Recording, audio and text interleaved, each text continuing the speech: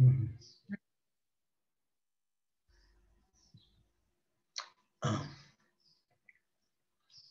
Omagyan timidandasya gyanajana salakaya chaksu unmilitam yena tasmai shri gurave namaha Nama Om Vishnu Padaya Krishna Prastaya Bhutale Srimakti Bhakti Vedanta Swami Iti Namaste Sunyavadi Vastyatya Satarine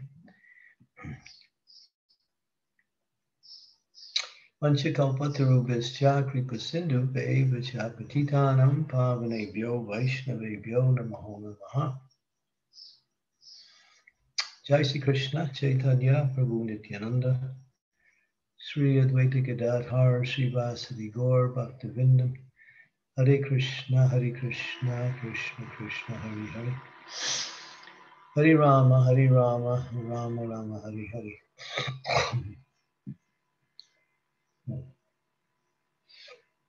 So we're happy to return after two days of activities in the area of Rath Yatra and temple programs. And so we'll continue with our uh, series of verses on the third canto, 20th, fifth chapter. And these are very essential uh, verses that pinpoint some of the most important principles that make up the process of devotional service. We heard a little bit about, you know, how devotional service works. Now, we're going to find out a little bit more about devotees now, which are the heart of devotional service. So this verse begins that series of few verses on uh, the devotees of the Lord.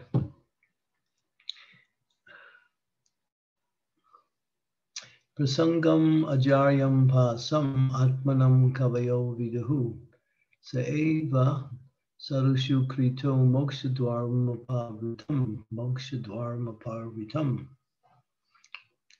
Translation Every learned man knows very well that attachment for the material is the greatest entanglement of the spirit, soul. But that same attachment, when applied to self realized devotees, opens the door of liberation. Mm-hmm. Prabhupada's purport. It is clearly stated that attachment for one thing is upon of bondage and conditional life, and that same attachment, when applied to something else, opens the door to liberation. Attachment cannot be killed. It simply has to be transferred. Attachment for material things is called material consciousness. Attachment for Krishna conscious, attachment for Krishna is called, can't see that one word, it's blocking. Move, move the thing, move the verse a little bit. Just move it up or down more. Okay, an attachment for Krishna or his devotee is called Krishna consciousness. Mm-hmm. Consciousness is therefore the platform of attachment. So we write in these few verses or few lines here, we have a very fundamental. I mean, right? Prabhupada put so much in a few sentences. Attachment for conditional life is bondage. Attachment for something else opens the doors for liberation. Attachment cannot be killed, it can only be transferred. And attachment for material things is to your consciousness. And attachment for Krishna or his devotees is called Krishna consciousness. Consciousness is therefore the platform of attachment. Very succinct principles of devotion. Consciousness is therefore the platform of attachment. It's clearly stated here that we must simply purify the consciousness from material consciousness to Krishna consciousness, and we can attain liberation. Despite the statement that one should give up attachment, desirelessness is not possible for a living entity. A living entity by constitution has the propensity to be attached to something. See that if someone has no object of attachment, if he has no children, then he transfers his attachments to cats or dogs. This indicates that the propensity for attachment cannot be stopped. It must be utilized for the best purpose. Our attachment for material things perpetuates our conditional state, but the same attachment, when transferred to the Supreme Personality of Godhead or his devotee, is the source of liberation. Here it is recommended attachment should be transferred to the self realized devotees or sadhus. And one who was a and who is a sadhu? A sadhu is not just an ordinary man with a saffron robe or a long beard. The sadhu is described in Bhagavad Gita as one who has unflinchingly engages in devotional service. Even though one is found not to be following the strict rules and regulations of devotional service, if one simply has unflinching faith in Krishna, the Supreme Personality, he is understood to be a sadhu, sadhueva samantavya. A sadhu is a strict follower of devotional service. It is recommended here that if one wants at all, one at all wants to realize Brahman or spiritual perfection, his attachment should be transferred to the sadhu or devotee. Lord Chaitanya also confirmed, this Lavamatra Sadhu Sangha Sarvasiddhi Hoy. Simply by a moment's association with a sadhu, one can attain perfection. Mahatma is a symptom of sadhu. It is said that service to a Mahatma or an elevated devotee of the Lord is Dharma Hor Vimukte, the royal road of liberation. Mahatseva Dwarmahor Vimuktes Tamo Dwarmyositam Sangi Sangam. This is from the Bhagavatam 552. Rendering service to the materialist has the opposite effects. If anyone offers service to a gross materialist or to a person engaged only in sense gratification, then by association with such person, the door to hell is opened. The same principle is confirmed here. Attachment to a devotee is attachment to the service of the Lord because if one associates with the sadhu, the result will be that the sadhu will teach him how to become a devotee, a worshiper, and a seer servitor of the Lord. These are the gifts of sadhu. If we want to associate with a sadhu, we cannot expect him to give us instructions on how to improve our material condition, but he will give us instructions on how to cut the knot of the contamination of material attraction and how to elevate ourselves in devotional service. This is the result of associating with a sadhu. Kapila Muni, first of all, instructs that the path of liberation begins with such association. Namo Vishnu Padaya Krishna Prastaya Bhutale Shrimakti Bhakti Vedanta Swami Iti Namine. Namaste Saraswati Deve Gaudavani Pracharine Nirvisesa Sunyavadi Pastyatya Satarine. So, uh, desire is an indication of life. Where there is no desire, there is no life. Desire cannot be stopped in a living being because desire is the principle of life. And then the question comes by, down to what is that desire that is beneficial to the living being. Then we can see from this verse that one should desire to free themselves from material entanglement, or we call it conditional life.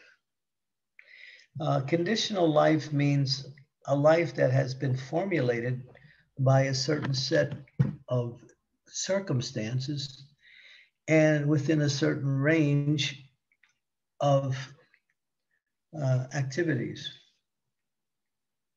And those circumstances mixed with desire and activity produces a type of life which is called condition, or you might even say conditional. It means it appears due to activities and desires within a certain realm of, acti- of, of uh, existence. In this sense, the material existence. Spiritual existence is not conditional, it is constitutional. In other words, it's by nature our existence. It's not contrary, and nor is it something that comes and goes. Conditional life means even within the conditional life, it can be changed to another type of conditional life. So we see that there are three levels of conditioning in a, in a general sense within the material energy. We have the mode of goodness, we have the mode of passion, and we have the mode of ignorance. Due to association with the material, we associate with one or a combination of these three modes of material nature. And based on that combination of activities and association with these modes of material nature, we develop a body. And according to Shastra, that conditional nature reaches its limit with 8,400,000 species of life. So, from the bodily perspective of life, there are 8,400,000 ways to become, to, to develop the principle of conditioned life. And then how that plays itself out is even greater number. So one can be have the same type of body as another, soul, but still the conditioning could be different according to the association of the modes of material nature, even within a same type of body. So the conditional nature is on different levels or a different uh, different moods of conditioning based on different types of desires or a combination of desires. That's why when we try to understand what is we can't. It's not possible to clearly understand how the law of karma works because the complexity that makes up the laws is so diverse that uh, even Krishna talks about it in a way in which he says no one can really understand how one becomes conditioned or what is the nature of that conditioning and how that conditioning pushes one towards their next destination in terms of the type of body that they receive. So it's quite complex, quite diverse, but it's all based on desire and desire within the realm of limitation or material. So, but then again, here, and of course, as Prabhupada establishes in the very beginning, that causes bondage. So, bondage means being controlled by some force outside of ourself that brings us various types of results, either suffering, um, uh, uh, strong attachment for the temporary, or a feeling of uh, happiness based on certain activities. So we have the three modes. Goodness gives some happiness materially. Uh, and passion brings great longing for satisfaction. And ignorance brings simply suffering. That's all. Mm-hmm. So we see how, how our conditioning nature is so works in such a way as to keep us in a limited state of existence, simply going back and forth. And the verses in the 13th chapter of Bhagavad Gita. Uh, Karnam Gunasanga so Sarasa Jona Janmasu. That the living entity travels from one material situation to another. Karnam Guna Sangosho Sarasa Joni. Joni means birth. Janmasu. Janmasu means birth. So life after life, one takes birth in one of the three realms, either in the realm of the demigods, the realms of the humans, or those below the humans, such as ferocious living beings, such as um, uh, lower forms of existence, such as Rakshasas, jinns, and various types of demoniac species of life, or even below that, animal lives. So the complexity of material energy is very, very hard to even understand. It's so complex. And therefore, you see, no two people in the world are exactly alike. And there are billions and billions of living entities who are conditioned in the material world, and you don't find two people who are exactly alike. You can see how diverse this conditioning is when you measure it based on this principle that even within identical twins who are born practically with the same karma, there is some difference. Slight is there, but there is some.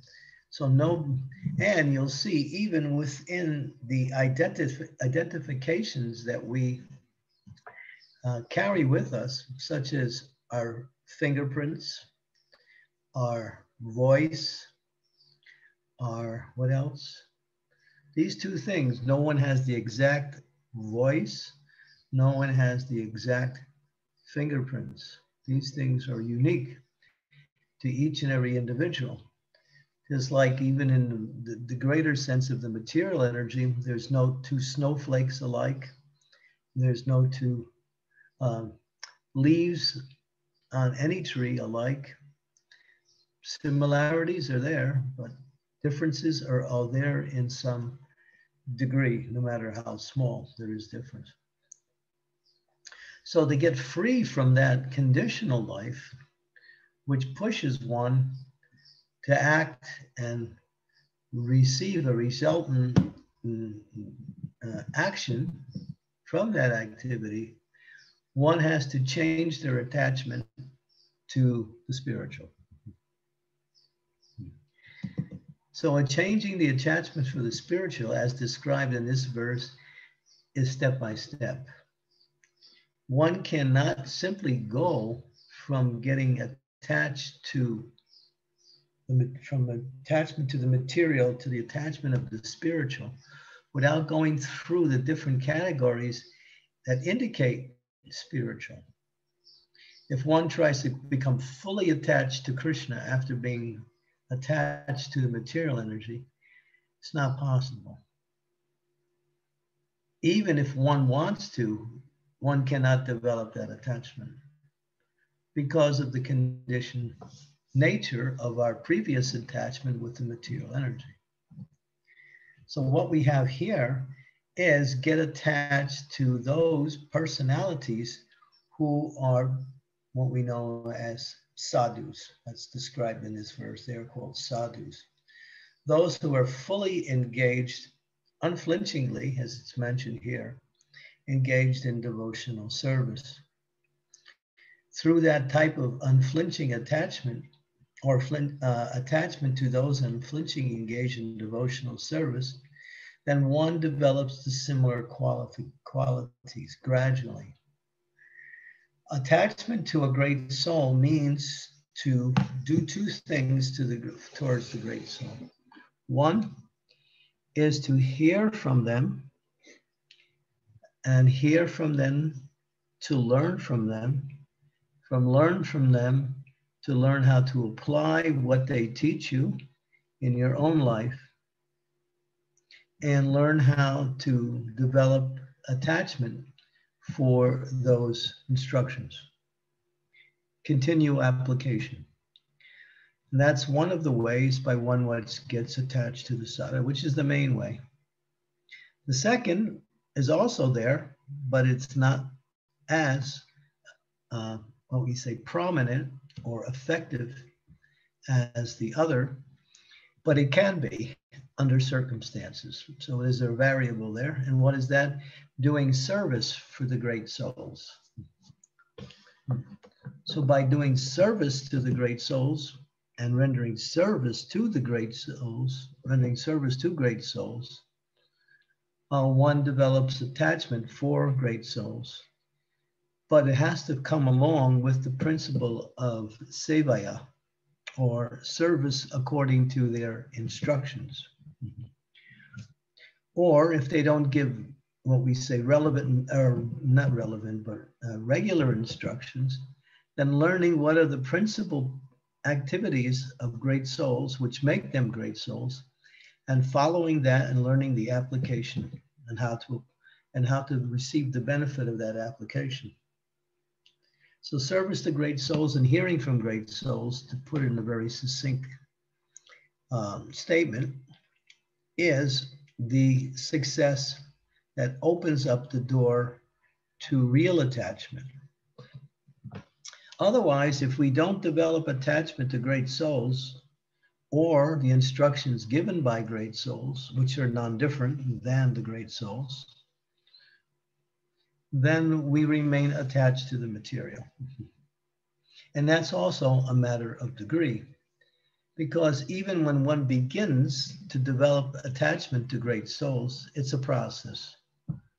It's a process of moving away from the material and entering gradually into the spiritual. But both things are happening simultaneously as one develops. Therefore, Krishna says in the Bhagavad Gita, Tadvidi pranipatena pariprasnena sevaya te. Because they have seen the supreme truth, or they are in contact with the supreme truth, they can give you knowledge of that supreme truth. They can also engage you in the service of that supreme truth. And they can also answer your questions regarding your activities in relationship to the supreme truth. So three things are there, seva, pariprasnena sevaya, and paripatena, pariprasnena sevaya. Three things. So as we become more and more attached to sadhus or great souls, uh, we our Krishna consciousness elevates more and more. And then because the great souls are attached to Krishna, we also become attached to Krishna. We also become attached to Krishna.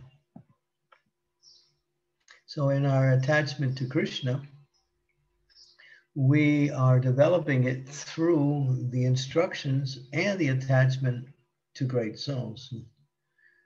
Just like um, one devotee said to Srila Prabhupada, he said, Prabhupada, he was he was a, a servant of Prabhupada. He said, he said, he said, I don't have any attachment for Krishna, Prabhupada, but I have, I'm very much attached to you and my service to you.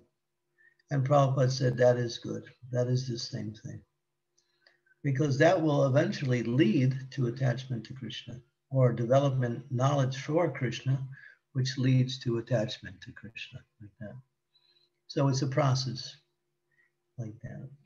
So this verse is very fundamental. We can use that word in this sense to understanding how to move forward in Krishna consciousness, like that. Sometimes we develop attachment to something about Krishna consciousness, aside from a developing attachment to the sadhu. But because the sadhus are also engaged in similar activities, but their engagements are different, Their engagements are without personal motivation. Our engagements may be to engage in the same activities that the sadhus do, but we are looking for personal gain through these activities, which means they're still tinged by this element of material desire. It's just like sadhus take in order to serve the Lord and to honor the Lord in the form of prasadam we might take prasadam because it tastes nice, it's prepared nice, or something about the prasadam itself that we're attracted to, but not so much the person who is represented by the prasadam or the, the element of service. So you see the, the activities will be the same, but the motivation will be different. Although the motivation is not wrong, it's not pure. Mm-hmm. Mm-hmm. Purity uh, ultimately is understood as perfection within activity or within desire, which leads to activity, which is also of the same nature. But when it's less, it's still purifying, but it hasn't reached its stage of perfection yet in terms of motivation. So, therefore, association, and here, as um, this verse that was quoted by Lord Chaitanya, Prabhupada quotes the, la- the last line. I'll quote the whole verse. Sadhu Sangha, Sadhu Sangha, Sarva Sastri Hoy, Lava Mata, Sadhu Sangha, Sarva Siddhi Hoy. Lavamata. Lavamata is an interesting, Lavamatra. Lavamatra means one eleventh of a second. if you could divide a, a, second into 11 parts, one of them is called a Lavamatra. So that much time in association with a sadhu, then one can attain perfection. Now you might think, wow, is that just some kind of eulogy? some exaggeration, some hyperbole, some way to get you connected to sadhus. No, it's actually um, uh, absolutely correct in essence. And what does it mean? Uh, I'll give you the example that was answered by Srila Prabhupada when he was asked the same question. And the question came in the form of some doubt. And the questionnaire, which was a disciple of his divine grace, he said, Srila Prabhupada, we've been associating with you more than many lavamatras, but we haven't attained perfection. So, what does this verse really mean? And Prabhupada clarified in a very interesting way. And he used an analogy to help us understand the clarification. And he said, um, when the wood, wood is wet, it doesn't ignite. If you try to light wet wood, it won't light because it's wet. So what has to happen first? The wood has to dry out, obviously. So the process of hearing and association with the sadhu is the drying process. We are still wet with material desires. So even though we're an association of sadhus and hearing from them, we have not attained perfection yet. So what is the what is the answer? Continue in that same way. Continue to associate, continue to hear, continue to apply the knowledge given, and then gradually you get to the point of being dried out and then that perfection is attained. In other words, constant hearing and service to the pure devotee will bring one to the state of perfection. So it's a process. This verse talks about the process, but it gives the result of the process within the verse itself. So it's interesting. Uh, therefore, we should be very eager for Vaishnava association, especially those Vaishnavas who are um, more elevated than us. Uh, senior association is required for us to move forward on the path of devotional service. And then there's two ways to associate with a great devotee. There's, there's Vanu, Vani and Vapu.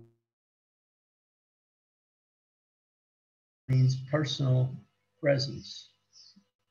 Both are powerful, but Vapu, personal presence, can sometimes take one in the other direction.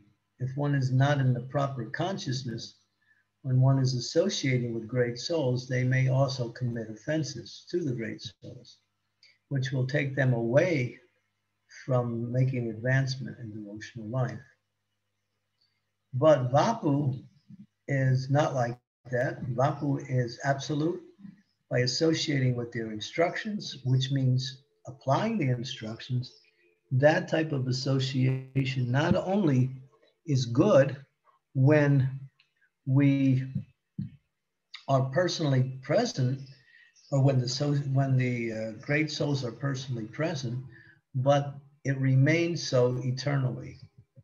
That's why uh, Prabhupada, for the, uh, those of us who had associations with Prabhupada, understand that his association is still available through his words, his example, and how he gave his words and example to us as a way to learn how to practice Krishna consciousness. So that is eternal. Uh, whereas Vapu is nice because we can develop an attraction for a sadhu by that association.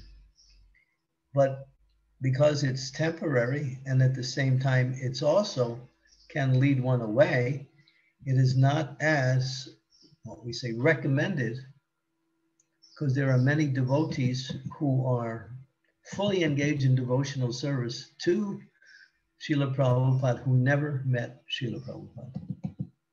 This shows you the power of Vani. It shows you the power of Vani, how his instructions taken to heart and applied in the proper way brings about that personal association just like I'll give you an example of what Prabhupada used to indicate that within him own his own self.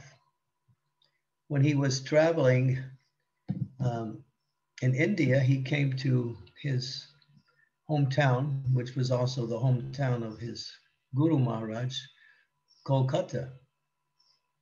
So he was there with some of his god brothers, and they were going to different places in Kolkata. But Prabhupada didn't go to see the uh, the samadhi or the place of his spiritual master. He didn't go. He went to other places. Now his godbrothers found fault with him later. He's coming. He's coming here, and he doesn't even go see the place of his spiritual master. When Prabhupada heard of their criticism indirectly through other means, uh, through other people, Prabhupada said, they don't understand. I'm never separated from my spiritual master. I have never been separate. I'm always with him. I'm always with him. I am, I am following his instructions to the best of my capacity to spread Krishna consciousness all around the world. So that is association. But that's that association can bring attachment and the attachment can develop into greater forms of association. And that's the process of bhakti. So this verse is fundamental, as it says in the, go back to the verse itself.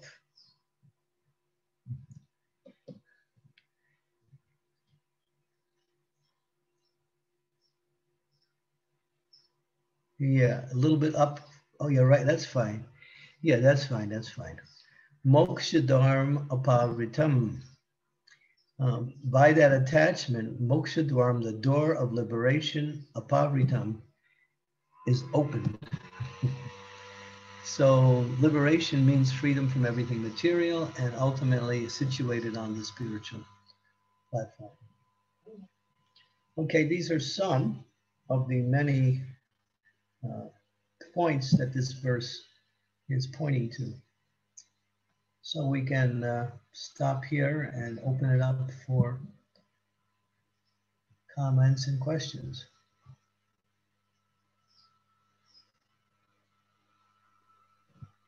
Hare Krishna Maharaj. Thank you so much. That was a wonderful class. This verse is so important. Thank you for the class, Maharaj. Maharaj, there is a question in the chat. Can I read it for you? Please. Yes. Hare, uh, this is from Bhakta Roberto Prabhu. He's asking Hare Krishna, dear Maharaj, what if senior devotees don't want to associate with us? Do we just try to serve them or just try to associate with other senior devotees? He's giving some possible answers to his questions at the same time, which may not be the answers at all. Um, say, say that person is your spiritual master. And then what do you do? And you just try to serve the instructions. We have an example in the life of Narottam Das Thakur, where Narottam Das Thakur wanted to take initiation from Lokanath Das Goswami. Lokanath Das Goswami did not want to accept disciples. He felt like he wasn't qualified. And he really was more interested in doing bhajan instead of having disciples. But Lord Chaitanya appeared to him in and no, actually, what happened was Narottam fixed his mind on Lokanath Das Goswami and refused to accept the fact that he could not be his disciple. So unknowingly, Narottam did service for Lokanath. And he did very menial service. And finally, it was found out by Lokanath Swami, someone was doing this service and he couldn't figure it out. And then he found out, when he found out, he was a little shocked. He was not angered, but he was shocked because Narottam is a prince and he is more elevated uh, in the material status than Lokanath Das Goswami was. And therefore, he felt embarrassed by accepting instructions. But then Lord Chaitanya appeared in a dream to Lokanath and said, You should accept him as your disciple. And he did, and that was his one and only disciple. So Narottam, because of his intense attraction to this great soul, then uh, that brought about his success in due course of time. There have been devotees also who have simply remained in the background and done service to Srila Prabhupada and Srila Prabhupada's devotees and have shown by their dedication in service that they are worthy of being accepted by these great souls. And then in due course of time, they are accepted. Um, just like people come and say, Well, I want to be your disciple. Well, that's nice. but what are you going to do? It's not some, it's not like joining some club or getting a name or having a, you know, a change in dress it's about purifying your consciousness and to, to develop your relationship with the Supreme Lord Shri Krishna. And so that all starts with the mood of seva. So if you're trying to so associate with certain devotees who don't want to associate with you, and you still want to associate, do service for them.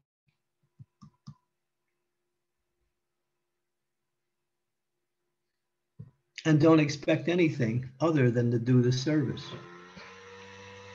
Just serve for the sake of service because you want to please them. But if you're thinking, I want to associate with them so I can discuss philosophical teachings with them and let them know how much I know about Krishna consciousness, then you'll obediently be rejected. You'll never be able to get any kind of association with that mood. So that is not association anyway. Real association means to keep Krishna in the center. And that comes by seva. So don't go try going bouncing from place to place looking for senior association. When it comes to peer association, that is a little different. Peer association, we can do that by sharing Krishna consciousness together and developing friendships based on our physical proximities. That we can do. But when you talk about senior devotees, then you have to develop that mood of seva and detachment from any personal desire.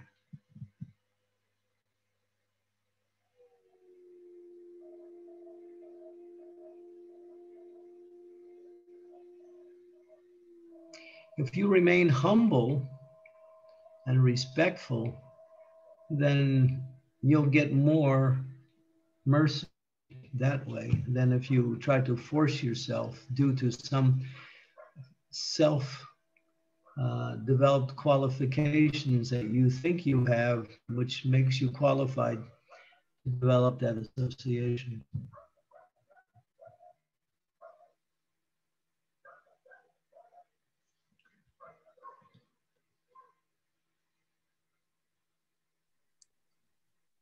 Thank you, Maharaj. Uh, Diptesh Prabhu, please go ahead. You have raised your hand.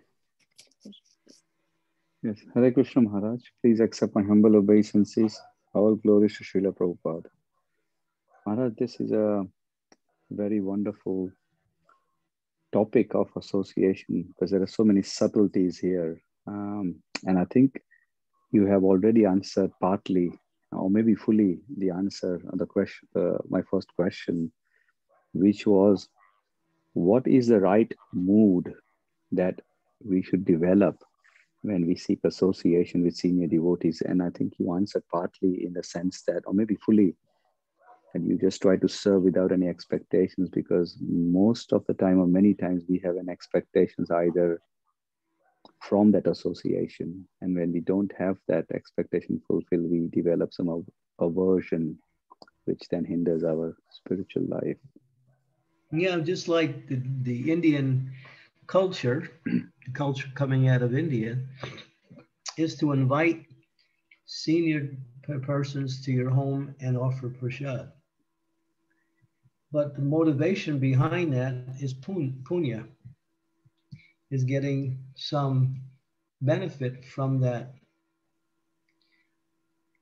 And that's not completely it's not bad, but it's not pure either. Pure means to want to please them by inviting them and offering nice foodstuffs, and not so much what kind of punya will I get from that.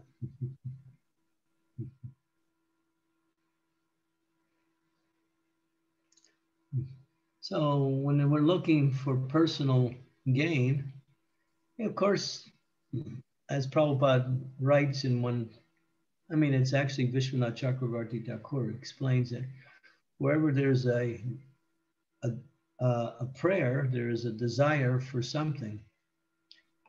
So we should try for association, but we know that association is beneficial for our spiritual elevation. And the mood of that association is to inquire and to offer service. It's that simple. Inquire, learn, and find opportunities to serve. And it's not always, those opportunities for seva are not always available. Sometimes people want to do service to senior devotees, but that service is not available for whatever reason. Mm. And then one should hear from them. But if one gets a chance to serve them, one can do that. Thank you, Maharaj. I think this is this is clear. Um, thank you. And uh, the second question, which is when we associate, there may be some instructions, and what should be our mood in taking those instructions? Because we become very selective in what we want to hear. Okay, so if you get an instruction, you know, that will happen too. If you get an instruction due to that association you didn't expect and something you don't want, then you inquire within that instruction and explain your feelings towards the instruction, either how you can carry it out, or is there any other instructions you they could give? Hmm. Instructions can be modified also and still keep the principle of instruction alive. But generally, we don't instruct unless we see people are ready for accepting. Sometimes that chance is taken, but then we expect them to respond.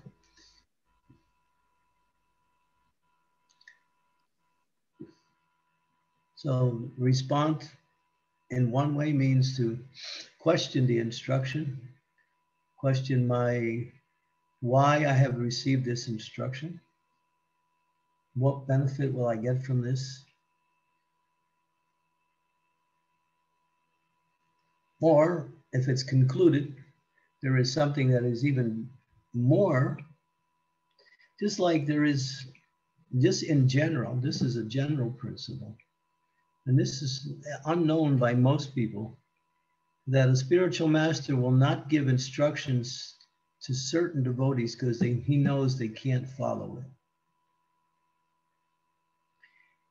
But he gives it, he, he may give that same instruction to other devotees because they know they can follow it. If he puts his disciple in a situation where he gives them an instruction they can't follow it, they commit offense by called, guru avagya, that means disobeying their spiritual master's instruction. And that rather than bringing them up, they go the other way. So the uh, guru doesn't want to do that. He wants to bring his disciples up. So he tries to give them instructions that are maybe a little difficult, but something within their range that they can do.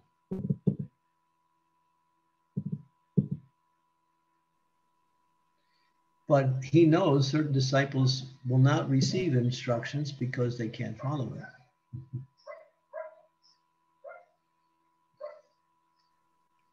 Thank you, Maharaj. Thank you. This also clarifies. Mm-hmm. And there's technical words that apply to these two kinds of disciples.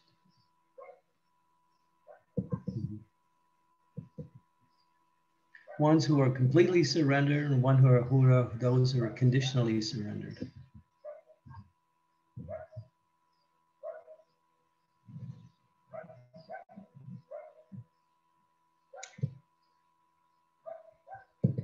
So when you get, if you receive an instruction, then you can question. If there's no reason to question, then accept and go on. You can also question how to execute the instruction, why you were given that instruction. But these questions are presented in a humble way, not in a challenging way. Mm-hmm.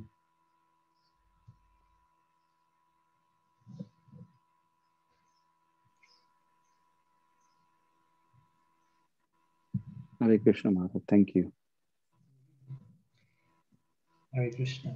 Because the whole bhakti process is service to seniors whether it's Krishna or Krishna's devotees, those in a more elevated place. That's the whole bhakti process. We can also do service to juniors and equals, and that's also part of bhakti. But that comes only by the instructions of seniors.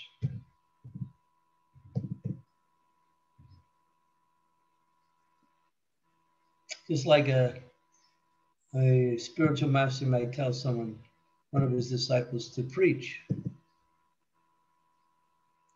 Um, and now, if they take up preaching, that's service to juniors because the conditioned soul is in a lesser position. But because it's an instruction by a senior disciple, uh, by a senior person, and it's in line with the whole mission of Krishna consciousness, it can be accepted as instructions given by seniors. Prabhupada gave that instructions to all of it. He said, I want all my disciples to preach. He said, each and if each and every disciple preaches, he said Krishna consciousness will be spread in no time around the world. So that's something he he doesn't he's not forcing that on, well, why you're not preaching, but he's saying this is what I want. So it's more like a direction rather than an absolute principle of instruction. And those who, who those who take up that instruction become uh, very dear to the spiritual master.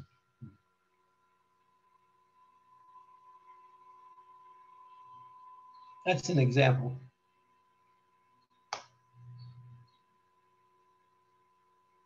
But if one is fully engaged in devotional service, they also become very dear to the spiritual master.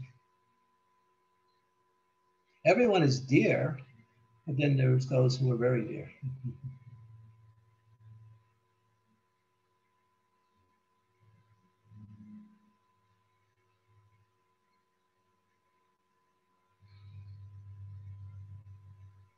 Thank you, Maharaj. Uh, Devi Mataji, please go ahead.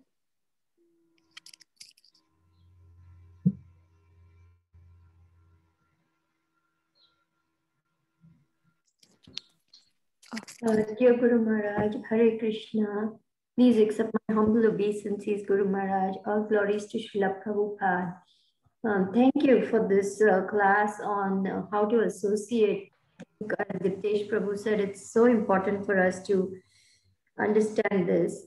Um, my question is more regarding the instruction to chant every day.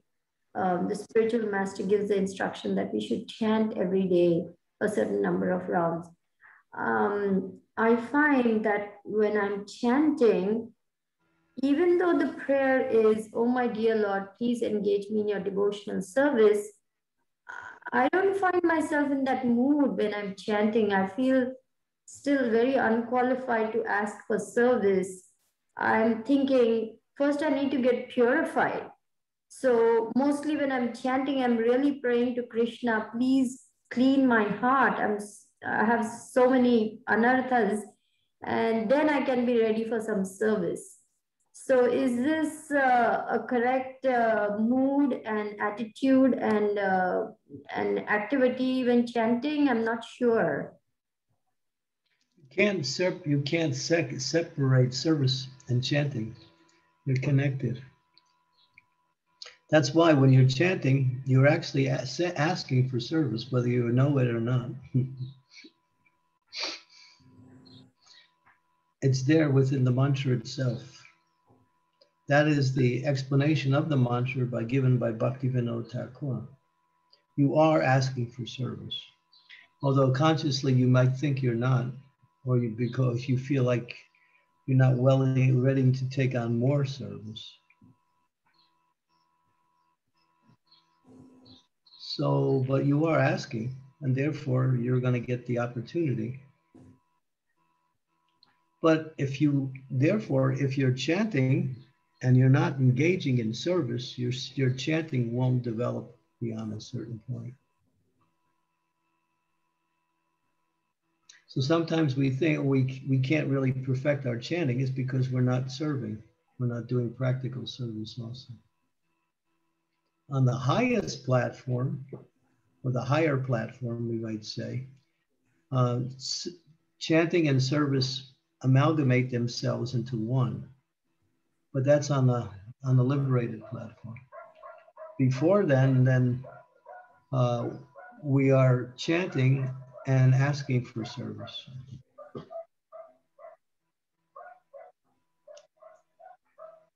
And if we don't accept service, then we won't, our chanting won't go beyond a certain level. Mm. If we consciously refuse service, you're making it sound like out of humility we're not qualified, but that's not a valid explanation because everyone can do service. Everyone can find some means to serve.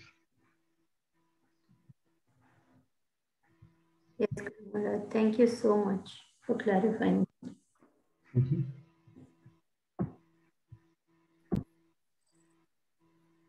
Thank you, Maharaj. Uh, there is a question uh, by Hetal Mataji. Uh, she's asking, um, Hare Krishna, Hetal, Hetal Mataji. Mhm. She's asking, uh, please, uh, how how we can make sure that our devotional service is in mode of goodness. Well, you see, you see the characteristics of the mode of goodness, and you apply those characteristics to the activity you perform. So, what are the activities of the mode of goodness that are mentioned in the Bhagavad, Bhagavad Gita and throughout the Bhagavatam?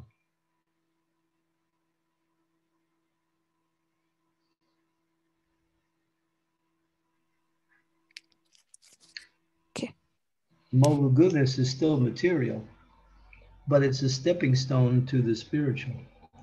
So, developing the qualities of the mode of goodness means acting within the mode of goodness.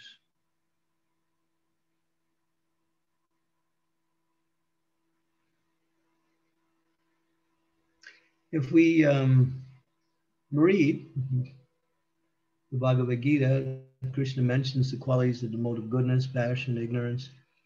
He also mentions the qualities of knowledge, he also mentions characteristics of the devotee, just like, for instance, um, uh, chapter 16, which is called Divine and De- Demoniac uh, Natures.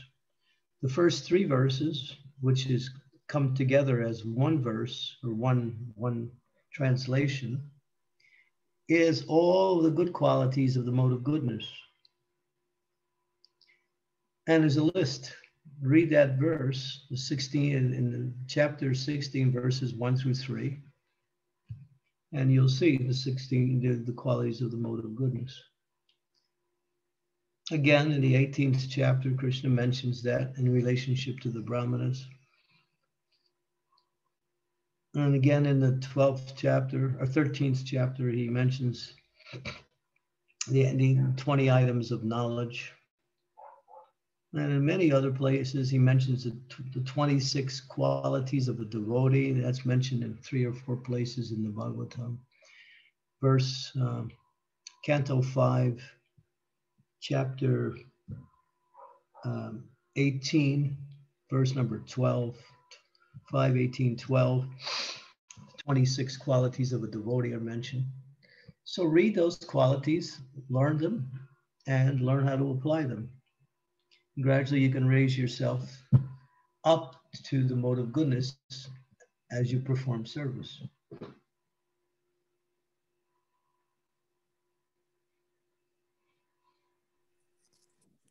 Thank you, Maharaj. Uh, there is a question by Mohanasini Radha Mataji. Mm, she's asking, what could we do if our neighbors get disturbed because we don't sleep much? They feel disturbed if we get up early for eh, early. For example, uh, but if we could wake up late, my Japan spiritual life would get disturbed. I usually sleep around six hours only.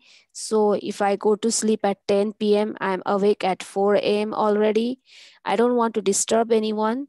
I try to be always quiet and not to make any noise, but our floor is wooden and our neighbor can't sleep after I make even one step. I don't know what to do. You're Uh, living in the wrong. You're living in the wrong place. so I, the material life, people in the material world are always disturbed about something. Prabhupada constantly was talking about how our kirtan was disturbing the neighbors, how our you know gathering of so many people in our temple was disturbing the neighbors. People are always disturbed about something. what can you do? Tell, uh, maybe you can, if you really want to stay there, fix your floor so it doesn't squeak. That's a practical thing you can do. Make your floor quiet so your neighbors are not disturbed when you walk. It might cost you a little bit of money, but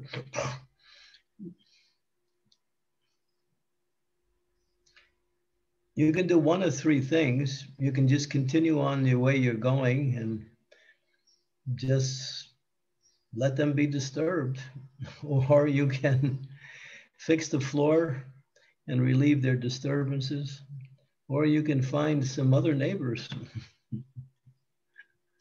what are you going to do? so Mohanasini Radha, what are you going to do?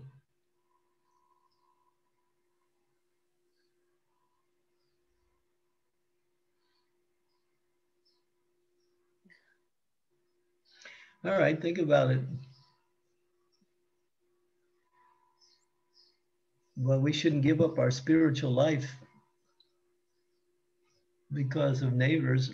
I'm living in a situation where I have karmic neighbors or materialistic neighbors right across the hall from where I'm staying.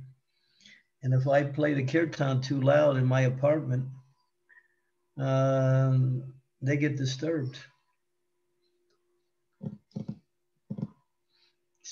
Like one time I left the door open when I went outside into the hall and the kirtan was playing, and then my neighbor came out and started talking to me about my about my loud kirtan.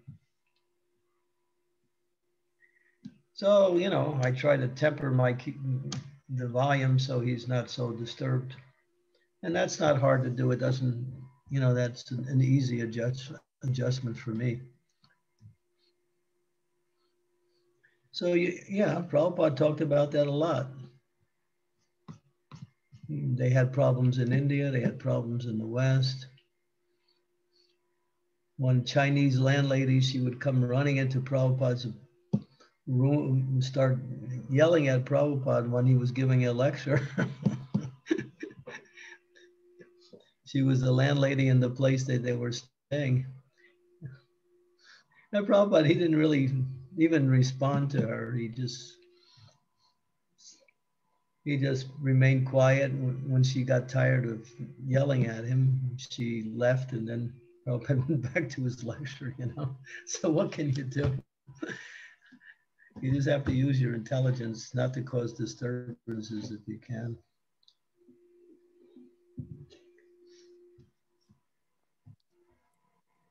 Thank you, Maharaj. Uh, yeah, even I faced such situation, Maharaj. Uh, my neighbor used to get disturbed with the home programs. So she used to complain, but I continued with my programs and recently she moved to another place. so hmm. yeah, just, yeah. Yeah. Well, sometimes it's the other way around. Is the devotees are living near people who have loud parties and they stay up late. Yes. Devotees can't sleep. Vrindavan Nath Prabhuji has a next question, Maharaj. Hare Krishna Guru Maharaj, please accept my humble obeisances. All glories to Srila Prabhupada. Uh, Guru Maharaj, I have one question. Uh, uh, see, from last several months, while uh, listening to your uh, these daily lectures and lectures, um, every class has at least one or sometimes many instructions and this questions always goes in my mind because everything what you say like what kind of quality we should develop or sometimes what we should avoid what we should do is all instructions uh, while i will be trying to follow a uh, few gradually but not able to follow all completely so will that be also considered guru maharaj as an offense No, not in lectures. Lectures are general for people in general. We speak and we hope people will take, but when, but if you get direct instructions, then that's different. But if you can take what comes in the lecture and benefit from it, obviously you'll move, you'll you'll gain from that and move forward. But it's not that the spiritual master gives a lecture and he expects everybody in who's listening to follow everything that he said.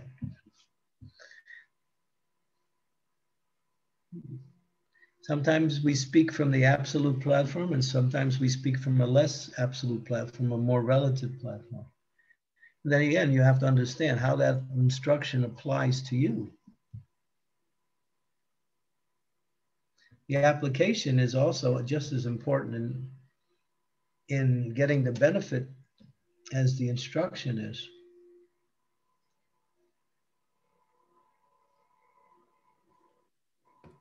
So take whatever you can take and be benefited. But then again, we say try to take as much as you can. But then again, you should know which instructions are most important and which are supportive to the most important instructions. So when we say every day you must chant your rounds, that's most important. Every day you must hear Bhagavatam, that's most important. Every day we should be thinking, and we should be doing some kind of service to the spiritual master or to the spiritual master's instructions. So you got general things and you have specific. Lectures are more general.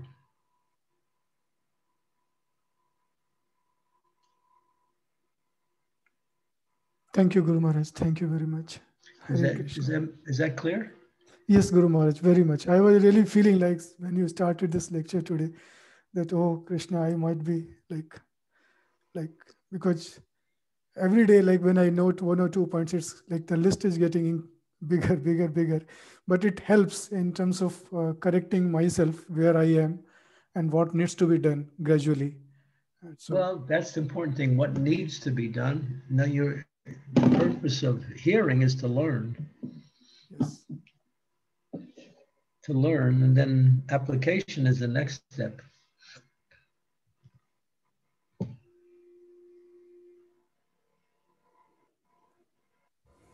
Yes, Guru Maharaj. Thank you very much. Hari Krishna. Yeah, I'll give you an example of the benefit. Uh, is this like a per? There is a person who's not surrendered. They're not surrendered to a particular aspect of devotional life. And so they keep hearing that same instruction and they can't really do it, or they don't want to. Maybe they can't for whatever reason. But then something happens in their life which forces them to adhere to that instruction so when that thing in their life comes up as a way to direct them back to something that they needed to do, then it happens. So just like we say, well, the material world is, you know, we give you give you an example that the man sitting on the branch of a tree and he's sawing on the inside of the branch and he's sitting on the outside. Another man comes along and said, My dear sir, if you keep sawing, you're going to fall. And he just kind of ignores him. And then when he keeps sawing, he falls down and he goes running to the man. Boy, you are, you are a great philosopher. You could actually understand the future. So the spiritual master is preparing you, and then material energy is helping you to fulfill that instruction.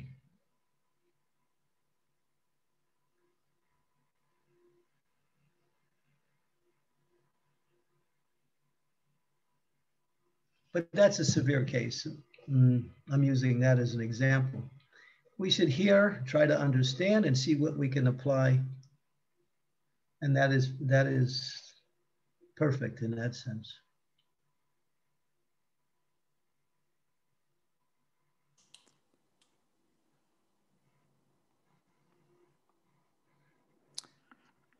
Yes, Guru Maharaj. I think one thing uh, which uh, has changed, like earlier in the material world, it used to be hearing and then maybe sometimes trying out, like whether it's going to work or not. Now, especially after, uh, like in one class you mentioned, and Prabhupada also mentioned in Nectar of Instruction purport that uh, we should just try to have faith by hearing rather than trying and seeing, then it's like foolishness. Like if you have faith, just hear and follow. So, yeah, but then you have to see how how it applies to you. If it's a if it's a general instruction for everybody, then go yeah, then yeah. But if it's a, an instruction that's that requires that has details to it, there's specifics in it. Then you have to question that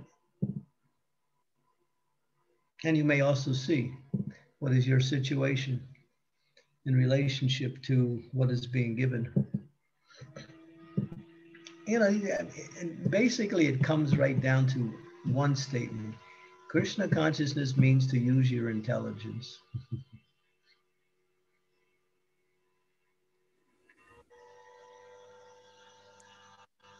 That's true, Guru Maharaj.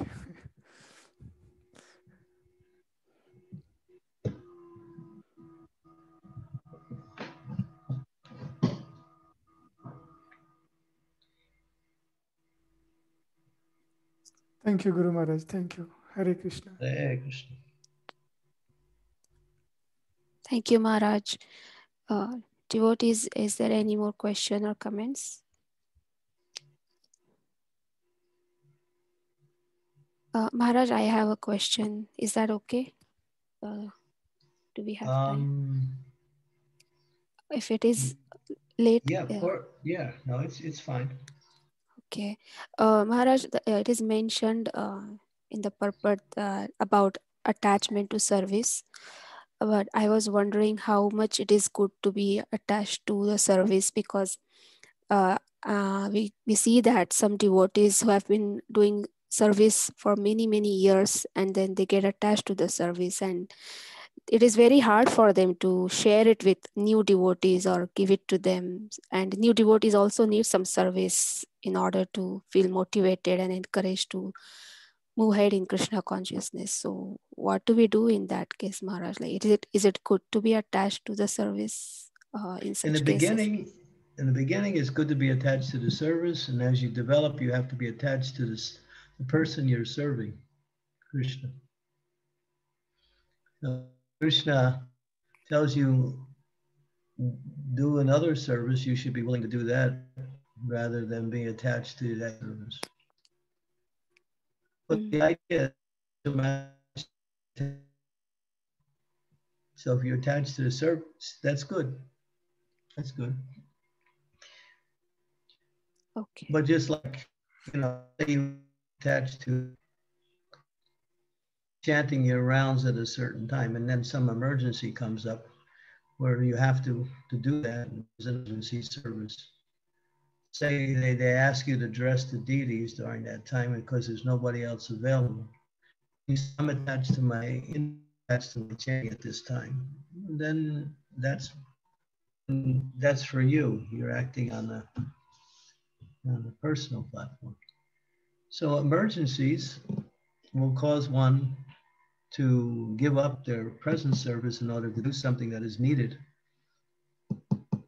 But generally, stay attached to your service. And realize that your service is for Krishna, it's for Krishna. You understand why you're serving and who you're serving. So it's better to be attached to the person you're serving than to the service but the service helps you get attached to the person you're serving. Mm-hmm.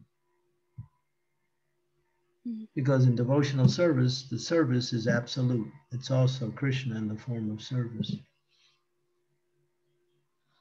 So So it's good to get attached to service, yeah. But getting attached to a particular service uh, is also fine as long as it doesn't interfere with a situation which is more important. Mm. If you find yourself in a situation where you have to give up the service to do something else, then that's that's what you should do. But stay attached to your service because your service is Krishna, is actually a, your connection to Krishna. Mm.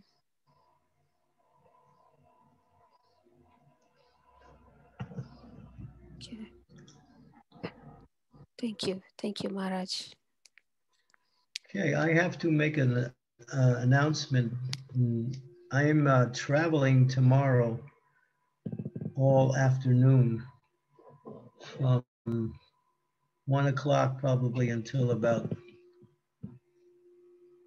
eight o'clock my time. And uh, during that period, um, our class time is included in that. So it looks like the circumstances is maybe tomorrow, just tomorrow, you can find uh, someone, or you can have kirtan, or maybe one of the devotees would like to come forward and you could read from the Bhagavatam and start a discussion based on your reading. That's one alternative. Or you could, or someone can come forward and do a class. So uh, I think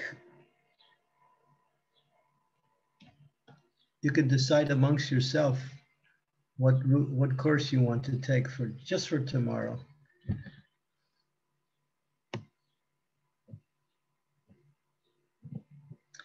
Haribol Ria.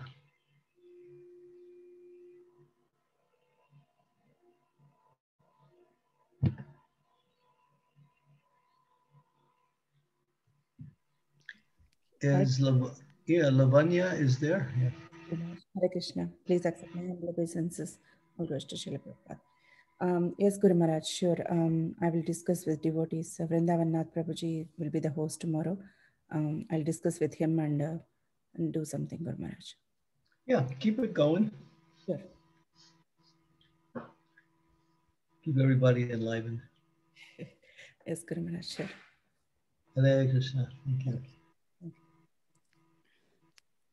Thank you, Maharaj, for a wonderful class today. All the beautiful question answer session. Thank you. Thank you for your time and association. Today. All glories to Srila Prabhupada. All glories to Jai Srila Prabhupada ki jai. Jai. So we'll see you on Wednesday. Hare Krishna. Guru Maharaj. Thank